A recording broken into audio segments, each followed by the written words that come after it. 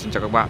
Hôm nay tôi giới thiệu với các bạn cái nắp thùng à, của cái Ranger XLS à, AT Và vâng, đây là cái nắp thùng à, của cái xe Ranger AT màu xanh. Thực ra thì cái nắp thùng này là, đây là nắp thùng thấp, All New Ranger. Thì Nắp thùng này mình có thể nắp trên tất cả các phiên bản Ford bán tải.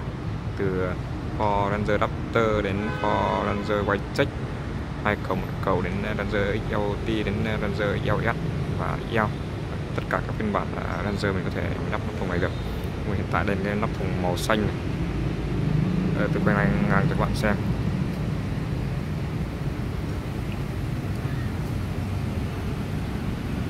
Nắp thùng này là nắp thùng à, thấp các bạn nhé. Thì à, nắp thùng này rất là đẹp. Nhìn là cái xe cân đối và hài hòa. Nhìn thấy quá đẹp và quá chất phải không ạ màu xanh.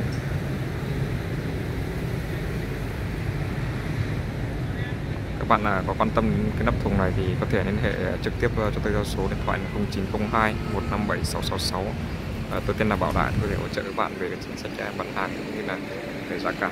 À, hoặc là các bạn có thể comment trực tiếp ở dưới cái video tôi sẽ hỗ trợ các bạn. Cảm ơn các bạn đã quan tâm.